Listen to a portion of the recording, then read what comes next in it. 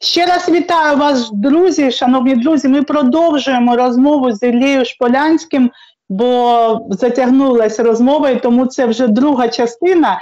І я хочу ще раз е, представити нашим глядачам. Це велика честь і велика радість для мене, що сьогодні є ця можливість, бо взагалі не часто вдається з військовими, хто зараз боронить нашу державу, записувати такі розмови. І я особисто знайома з Іллею, і я особисто знаю, що це дуже потужна людина, яка багато, багато класних проєктів робила для Миколаївщини і взагалі для країни.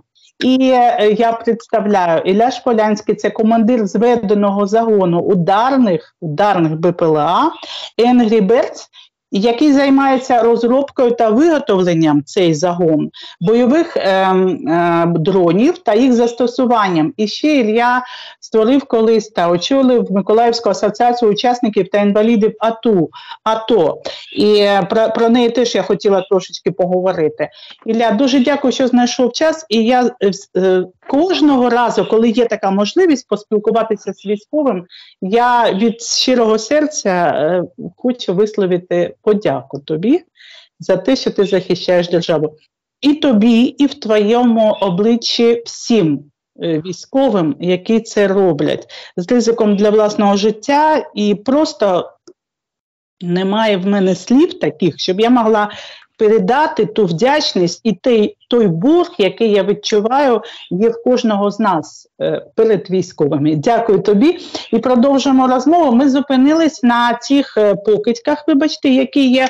Е, насправді внутрішніми ворогами, які досі є в твоїй рідній Миколаївщині в міськраді, від ОПЗЖ, партії Шарія інших партій. І я хочу тут додати, що це не тільки в Миколаєві, це загалом така проблема в країні. От я днями спілкувалася з пані діячкою громадською та політичною з міста Бахмут, яка каже, що під час повномасштабного вторгнення, але ще до того, як орки почали штурмувати Бахмут, місцева рада приймала рішення висаджувати квіти щоб розпилити ці гроші, замість того, щоб готувати фортифікаційні споруди, замість того, щоб готуватися до оборони, місцева влада в місті Бахмут просто пиляла, ну я це назову інакше, крала гроші. Ось і все.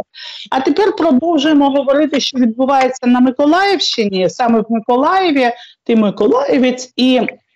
Що з цим робити? От мені здалося, що ти вважаєш, що неможливо з цим нічого робити. Але є ж е, в Верховній Раді проєкт, законопроєкт, який пропонує всіх викинути з місцевих рад ось цих ворогів, з цих заборонених вже партій, і зробити там військово-цивільні адміністрації. Чи це не, не, не треба робити? Не треба. Я вважаю, що вже йде як іде. Вони зараз е, я особисто регулярно висвітлюю. Е, е, ну як? Я в Миколаєві, коли буваю, от я зустрів е, голову фракції, там ну якийсь там діяч з ОПЗЖ, не знаю, не розбираюсь в стартах лайна. Е, якийсь там діяч ОПЗЖ з обласної ради. Він там першим заступником голови обласної ради був. Він сидів в кафешці, я прийшов, підійшов при всіх людях, йому сказав, ти що тут сидиш, ти що, блін? Взагалі тобі не, не соромно, і за вас скільки загиблих, ви е, коріша кума Путіна. Та я не то, я не сьо і так далі. Ну і е, так само я регулярно пишу про це у Фейсбуці і принаймні заглушую їх медійну активність. Тільки вони там щось напишуть, що я там повіз комусь там хворим то-то, то-то, то-то, Я пишу, ви чого, взагалі очманіли? І що піаритись на цьому горі. От для мене вони є ворогами. Це люди для мене, яким я не подаю руки. Я вважаю, будь-яка людина, яка з 2014 року пішла в балотуватись від ОПОБЛОКу, ОПЗЖ, партії Шарія. Навіть була така е, фріковська партія в Миколаївській області, держава. Вони прийшли в обласну раду, теж були там в обласній раді і так далі. Теж заборонена зараз. Так, це партія да, Геннадія, да, да, Геннадія Васильєва, ворога України, прокурора Донецького, який втік до Греції вже давненько, партнером партнером а, цього російського олігарха Нусінкінса. Ось. Угу, угу. От, розумієте, да? Тобто моя е, задача донести до тебе і до глядачів, що не бути до ними толерантними. Тобто, ну ніяко, ну як не бути толерантними? Не треба бити, не треба палити їм хати. Ну, бо це незаконно, ви за це можете сісти. Просто не подавайте їм руки і при будь-якій можливості психологічно тисніть. Ви маєте на це право. Вони добровільно йшли в політику, вони це обирали. Тобто, ну ніякого. Одна справа, коли я починаю, е, ну або да, там хтось починає когось, волонтера там хейтить і так далі, це одна історія. А інша історія, коли ми кажемо про суспільний хейт ворогів, які свідомо це обрали, але не змогли реалізувати свою ворожу суть просто в силу того, що ворог до цього міста не дійшов. Ну ми ж знаємо, що практично всюди. ОПЗЖ і ОПОБЛОК, ОПЗЖ, ОПОБЛОК, у кого там ще е, всіляких там шарійовців, очолили е, колаборантські різні е, керівні посади на окупованих територіях. Про що взагалі говорити? Ну, це е, стан ворога. А, там, Це люди, які були тут за, законсервовані вороги, але на них немає сьогодні юридичного підґрунтя їх посадити. Ну і я не вважаю, що потрібно всіх садити. Їх просто не можна допускати до того, щоб вони колись в нашій країні будь-коли на прийняття рішень. Якого? Оце треба, щоб просто кожен громадянин зрозумів. Ну, от це просто абетка українського націоналізму сьогодні. І все. Але треба при, прийняти такий закон, який буде забороняти балотуватися, е, бути призначеним на посади особам з цих заборонених партій, чи не так? Я наскільки знаю, я займався цим питанням. Наскільки я знаю, що цей закон, е, що не можна нікому обмежувати право е, обирати і обиратись. Якщо держава, е, якщо Верховна Рада і прийме такий закон, то було б доцільно його приймати прямо перед виборами, щоб їх обмежити, не допустити до виборів, а потім після виборів прийде е, вказівка з е, від наших західних партнерів, що це не демократично, це дійсно не відповідає усталеним нормам західної демократії. Ну тоді цей закон відмінять, але ми їх тоді відкинемо. Можливо, цього не відбудеться. Скоріше за все, цього не відбудеться. Тоді ми точно мусимо знати, що кожен в своєму селищі, місті, на державному е, на державному рівні Верховну Раду, якщо ми конкретно ти в своєму окрузі відкриваєш список всіх кандидатів від всіх партій і просто-напросто на сайті ЦВК перевіряєш, чи не балотувалася людина колись від якоїсь із цих перелічених партій. І все. І якщо людина балотувалась, то треба піднімати суспільний шум. І, е, Зазвичай одразу ж його виключать із е, списків. От і все. От так, от таким я бачу їх обмеження. А поки терпіти, поки немає, ну а е, які зараз? Ну які Як... зараз механізми?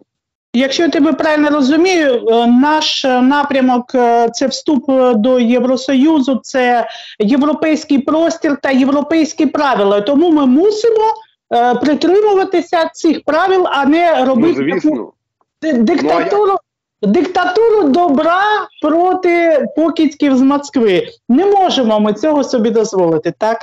Ну, У нас і так в суспільній площині зараз є абсолютно абсолютно несприйняття суспільством будь-яких проросійських течій, настроїв і так далі. Я думаю, що це буде на десятиріч але не сприйняття яких проросійських висловлювань, поведінки і так далі. Це не завжди означає несприйняття самих осіб, які швиденько перекрасяться і зараз будуть про себе розповідати, що вони добрі, хороші.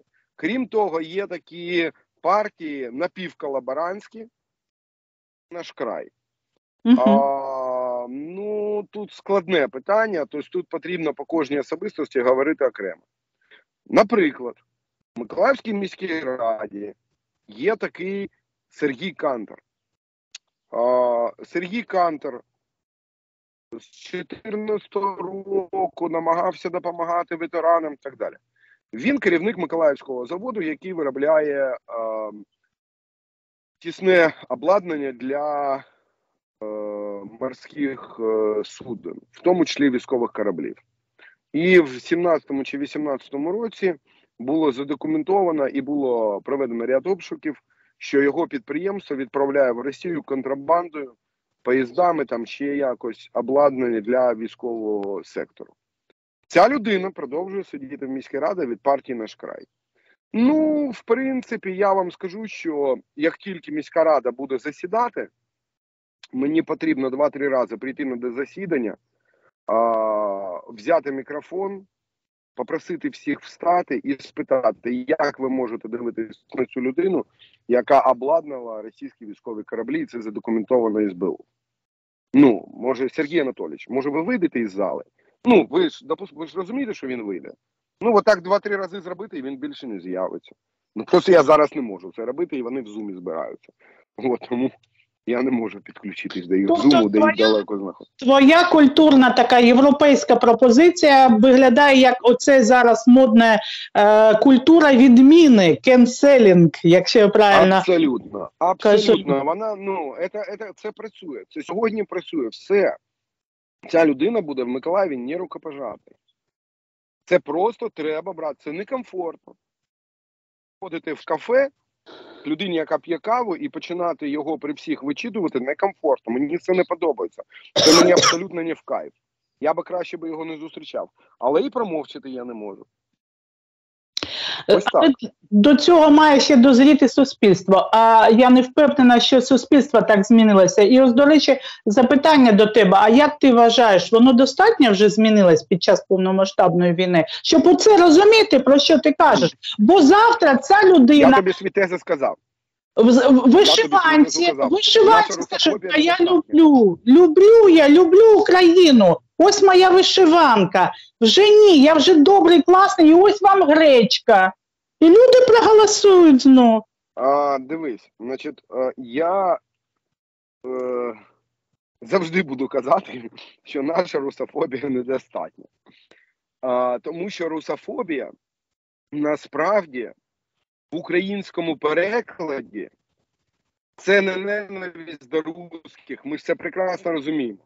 Ну як може бути ненависть до якоїсь нації, якщо у нас в армії скільки зараз в збройних силах України етнічних русських, росіян? Ну етнічних, ну складність української мови у нас росіяни, ну русські, да? а етні, етнічно росіяни. Скільки в армії? 30%? Ну я думаю, не менше. Ну як в Україні в цілому, да? Дуже велика кількість, а ще більша кількість російськомовних. Яка у нас русофобія? У нас русофобія цивілізаційна. Це цивілізаційна русофобія, це е, фобія, в'язування, фробія проти того, що нам забороняють бути українцями, говорити на своїй мові, е, вчи, жити так, як ми вважаємо за потрібне. А ми вибрали свідомо жити в європейській сім'ї народів. Це наш вибір. Українці цей вибір вибрали на Майдані рази. І яка вже точно 9 років. Вибрали це право бути в європейській сім'ї народів. І нам забороняють це хтось. Вважає, що він має право це заборонити. Так от, якщо перекласти по-іншому, нашого прагнення до вдосконалення завжди буде недостатньо, як в житті кожної людини. Тому можна констатувати, що суспільство абсолютно, ну тобто там суспільство перейшло на нову сходинку після 24.02.2022. Перейшло на нову сходинку побудови суспільних відносин, відповідальності, взаємодопомоги, відповідальності на своєму робочому місці і так далі. Але достатньо для побудови реальної країни, країни, де буде реальна демократія і де будуть людини. Що ну, демократія це ж такий складний комплекс. Це і свобода слова, це свобода віросповідання і релігії, це свобода е, це прав, це права людини, право на працю, право на освіту, право на там житло там і так далі. і Так далі, і так далі. Так ось у нас в цілому, я вважаю, зі свободами плюс-мінус ситуація складається дуже непогано, а з правами ну просто жах. Є сьогодні права у людини, у пенсіонера, у військовослужбовця, у підприємця багато прав, які захищаються державою. Ні, поки що недостатньо. Захищається там потроху права на безпеку, там покращується ситуація. У нас вуличної злочинності там стало вочевидь менше і так далі. Тобто е, ми пройшли якийсь шлях. Вочевидь, це шлях в розвиток. Але нам стільки потрібно пройти, тому що нас чекає така кількість викликів: демографічна, там трудова. Ну, виклик е, перемогти нарешті ворога потрібно. Це самий головний виклик. Нам треба пройти стільки викликів, яке може пройти тільки суспільство, яке подорожує ще більше. Тому да, так, так. ми недостатньо дорослі. Ми недостатньо дорослі. Ми зараз ну ми може вийшли з підліткового віку. Ми можливо вийшли з підліткового віку і стали там юнаком. Це суспільство має бути нетолерантним до агентів Росії та минулому, не толерантним до корупції і взагалі достатньо свідомим, щоб робити те, про що ти кажеш, перевіряти біографію кожної особи, яка пхнеться до влади. А в цьому суспільстві все ж таки мені здається ще багато людей, які не дозріли до цього, якби не більшість. Ну добре, буду оптимістом, я їм і є. А ось я завдяки тобі послухала нарешті, як і ти нещодавно, хоча цьому відео вже рік. Е, і залишу посилання в описі до відео для бажаючих до нашого з тобою відео вже до нашої розмови. Тобто, що про що йдеться? Зум Філатова, мера міста Дніпра, значить, який там. Е, розповідає е, своїм підлеглим, що е, ось другий день повномасштабного наступу, це я людям кажу, і е, він розповідає, що не треба особливо пручатися російській агресії, бо все одно Київ, скоріш за все, буде захоплений. Київ і пручатися не треба.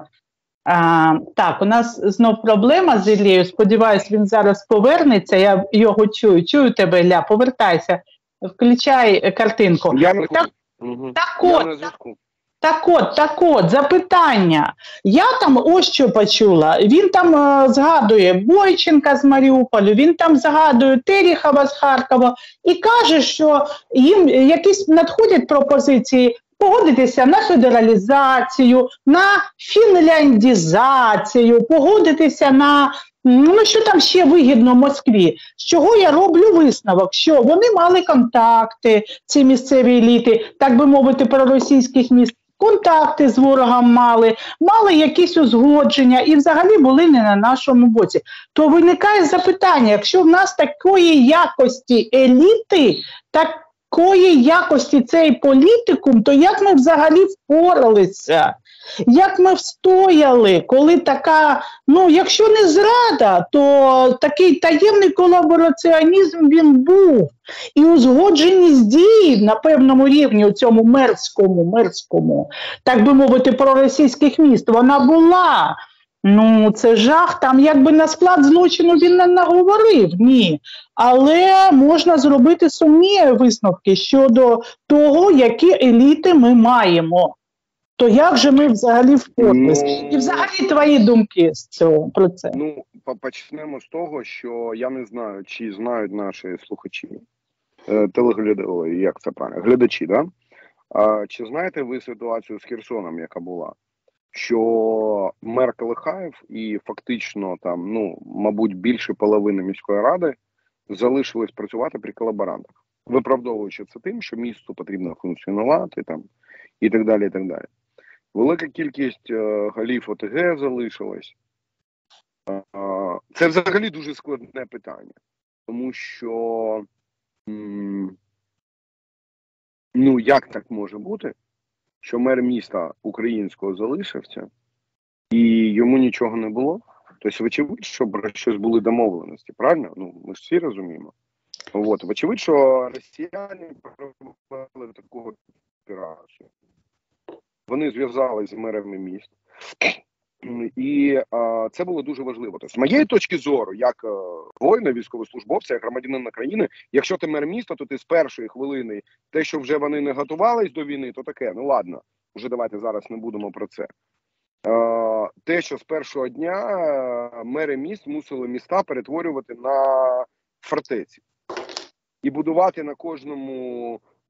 На дальніх подступах будувати бетонні мури там я не знаю з першого дня і витрачати на на це весь бюджет.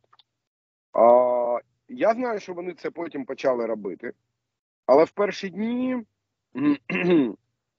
вони показали, по-перше, розгубленість, а по-друге, почекунство. І це стосується в тому числі мера Філатова і так далі. Я абсолютно впевнений, що цей мер. Е, я не сумніваюся, що йому нафіг ці російські війська не потрібні. Тому що він себе прекрасно чухає в місті з мільярдними бюджетами, і воно йому нафіг не потрібно. Але е, він прораховував варіант того, що так чи інакше е, російські війська візьмуть Київ, і вони будуть шукати Київ. Тобто він не збирався і підтримувати збройний опір у разі, якщо для мене це неприйнятно. Для мене він ворог. Якщо для інших людей ні, ну значить його беруть знову. Але я буду казати, що да, після цього відео для мене Філатов це ворог, який не може ніяких посад, принаймні після перевиборів. Я не можу зараз нічого зробити проти нього. Ну, у мене немає ніяких механізмів. Але я можу це зробити на виборах. Закликати людей. Люди, дивіться це відео, робіть свої висновки і зрозуміти, що ну порівняйте тих людей, які вийшли а, просто ну хто вийшов з автоматами, які військомати роздавали, а хто вийшов з військоматами, які самі відрили з автоматами. Ну, всі прекрасно знають, що люди, роби, раби, е, знаючи нашу владу, робили певні запаси зброї, відкопували і йшли фактично голими руками зупиняти танкові колони.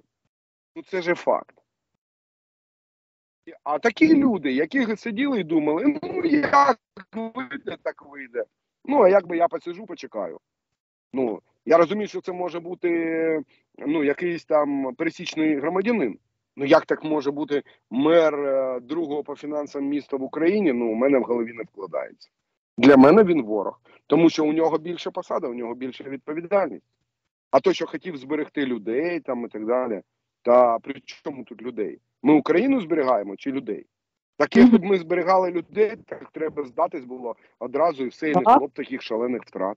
Так в чому тоді проблема? Про ну, це я... йшлося, про це є в цьому зумі про це, що треба здаватися. Нас це не стосується, вони в Києві змінять владу на проросійську, а ми навіть там е, таке лунає, що ми, мери, можемо з заявою якоюсь вийти, яка е, вигідна ж е, в лапках. ну, Тобто це зрозуміло, що вигідна Росії. Тобто там була е, вже е, якась згода е, на колабораціонізм. Продовжуємо після невеличкої паузи. І так ну, ми говоримо про про пана Філатова, його нараду після на другий день, як я розумію, або на третій після початку повномасштабного вторгнення, схоже на те, що це була така консолідована позиція мерів, бо так само і Теріхов поводився в перші дні, він вагався, як йому робити, і так само Бойченка. А ти кажеш, що і в Херсоні е, взагалі була, була гірша ситуація, що мер певний час. Працював з на окупованій території і мав якусь узгоджену позицію з Е, е, з окупантами. І я це можу підтвердити, бо в мене були інтерв'ю з херсонцями, які так само вважають, що Колихаєв насправді є колаборантом, але його чомусь нагородили. Бо там, наприклад, окупанти розграбували всіх фермерів, а його хазяйство не постраждало. Ну, дивіться, я ж не можу коментувати, можливо, ці там той же Калихаєв співпрацював з нашими спецслужбами. Я не можу це ага, ну, коментувати, але да. Але е, для мене ці люди вони не мають права займати брати якусь участь в політичних процесах після перемоги. Вони будуть брати цю участь, вони будуть обиратися. Я думаю, наприклад, на свій сум скажу, що я думаю, з великою мірою вірогідності, як ті, якщо тільки ветеранська спільнота не виступить проти нього єдиним фронтом, виграє і Філатов, наприклад.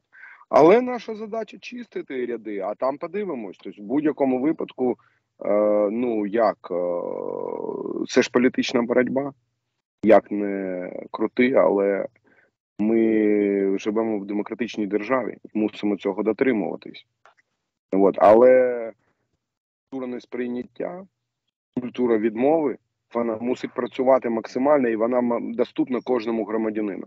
Кожен громадянин може прийти перед виборами на зустріч з виборцями того ж Філатова, встати і йому сказати: ви такого-то такого-то числа проводили зум. На цьому зумі ви готові були здавати місто Дніпро. Я цього не приймаю і вийти. Все, цього достатньо. Це вже пишуть там і так далі. І так далі. Тож, ну, треба буде таким чином очищати суспільство. Е, тобто ти е, трошки згодний з цим очікуванням, яке є дуже популярним, що після перемоги хлопці наведуть порядок, тобто в тому сенсі, що хлопці, воїни, захисники будуть йти до влади. Ти е, вважаєш це правильно і на це варто сподіватися, так? Ну це ж процес, це певний процес. Тобто, ну на фронті люди різні. Здебільшого, ну на фронті достатньо мало людей, які мають політичний досвід. От. Е, Будуть безумовно розтягувати побратимів по різним політичним партіям. Це в принципі добре. Е, Дуже багато ветеранів мімікрують е, під, скажімо, політичний договорничок, але не всі. Е, в будь-якому випадку, після перемоги, якість е, політикуму вона стане вищою. Вона не буде ідеальною, але вона буде вищою і якіснішою. Так, і перш ніж я поставлю останнє запитання, надважливе, що таке перемога в великому сенсі, великому, бо є така стаття виграти війну, програти мир. Е, перемогою такою, щоб вона щоб жертви не були марними. Але ще до цього інше запитання. Ти людина, яка багато присвятила життя реабілітації побратимів. Зараз більше людей скалічених війною, наших захисників, наших героїв, які повертаються без кінцівок е, з травмованою психікою, таке інше. Що робить для цього держава, щоб реабілітувати цих людей, щоб їм допомогти? Бо я чую, що бюрократія так само е, тут е, в цьому питанні дуже велика. Що люди, е, які стали інвалідами війни, мають в чергах стояти і таке інше. Що б ти мог розповісти нам про стан справ, якщо знаєш з реабілітацією, як вона зараз відбувається, коли ти, наприклад, вже нею не займаєшся, ти на фронті? Я займаюся. Займаєшся? Я, да, я зараз е, декількома ветеранськими проектами займаюся. Ми реалізуємо зараз проект Мій тато повернувся з війни, е, книжку комікс, і е, будемо презентувати його в червні місяці. Це мій проект, який був підтриманий ветеранським фондом. У мене є команда, яка працює в Миколаєві, займається цим. Ось, але я мушу сказати, що сьогодні для фізичної реабілітації робиться недостатньо і дуже спорадично. Ну, тобто не системно, але робиться для фізичної реабілітації. Ну, протези виготовляються, людей по можливості там оперують, лікують. Це і є не ідеально, але дуже не ідеально, але є. А іншої реабілітації, тобто е, соціальної інтеграції, да, як це по-іншому називається, тобто е, як повернення ветерана і передбачити ті негативні наслідки, які з ним будуть, або які вже є, аби нівелювати ті наслідки, які є війни у нього. Тут не робиться а нічого і немає нічого ні від держави ні системно від суспільства як е, там громадськими організаціями і так далі. Системно. Тобто, можна сказати, що на сьогоднішній день інфраструктури повернення ветерана в цивільне життя немає в принципі. От як просто треба прийняти цей факт. І цього немає. Ось те, що є, це не може ні пая, ні якісно, ні кількісно закрити потреби ветеранів країни в принципі. Тобто, це можна, воно що що є, що його нема. На жаль, так. Ситуація достатньо сумна. З чим це пов'язано? Ну тому що суспільство сьогодні налаштоване на перемогу і все робить для перемоги. І це логічно. Тобто, все фінансові, інтелектуальні ресурси зосереджені в підтримці армії. І в цьому є певна логіка. Але це просто сумний результат дуже поверхневого відношення до влади до цього питання протягом восьми років і відсутності сьогодні якихось продуктивних сил, які можуть цю ситуацію змінити в тилу. Ну це просто я сьогодні не бачу ніяких передумов для того, щоб була розгорнута ефективна система повернення людини в суспільство. Ось так. Угу. На жаль, ми маємо таку картину. Що би ти вважав перемогою повноцінною, перемогою нашого суспільства? Коли ми зможемо вже сказати, що ми є держава, яка відбулася повноцінно, як європейська правова, достойна, гідна, держава гідна тих жертв, які були принесені спочатку на Майданах, потім на Майдані, тобто потім, потім на фронті, де люди віддавали все, що в них є, най, найголовніше, що вони мають, мабуть, не заради того, щоб Україна після перемоги над ворогом, е, до речі, що таке перемога, бо ми їх витиснемо за наші кордони, і вони що відмовляться нас обстрілювати ракетами. Е, вважаю, що ні. І далі, щоб ми не перетворилися на Узбекистан або маленьку Росію, або ще щось ганебне, щоб ми нарешті стали країною, про яку ми мріємо і хочемо її залишити своїм дітям. Як е, цього досягти, і щоб ти вже отакі ознаки, риси, щоб ти сказав, о, це вже є перемога. Що буде перемогою для тебе? Ну, з моєї точки зору, е, сучасна держава не може бути соціальною. Причому в соціальному в широкому сенсі цього слова, де людина буде поставлена в центр уваги, да, де держава є для людини. Ну, давайте будемо так сьогодні казати. Держава сьогодні є. Е, держава сьогодні кому реально служить? Ну, держава сьогодні створила в державі створені умови. Держава це ми, але чи в державі сьогодні, як в органі... як в механізмі, як в організації, створені умови для повноцінного його розвитку особистості. Неважливо це хто і підтримки, підприємець, пенсіонер, ветеран війни, людина з інвалідністю, дитина, багатодітні батьки, просто батьки, просто людина. Сьогодні наша держава надає кому сьогодні наша держава надає якісну послугу? Як кому? Нікому. Ну, є сьогодні держава. Є можна сказати, що сьогодні в нашій державі е, був би адекватним лозунг кожна людина важлива? Ні. От коли це буде, це і буде справжня перемога. Чи є так в західному світі? Ну, мабуть, не ідеально, але значно наближеніше, ніж у нас.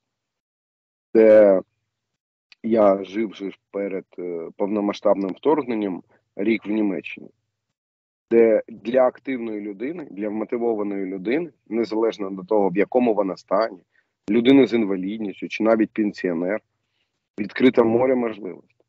І при цьому держава його підтримує.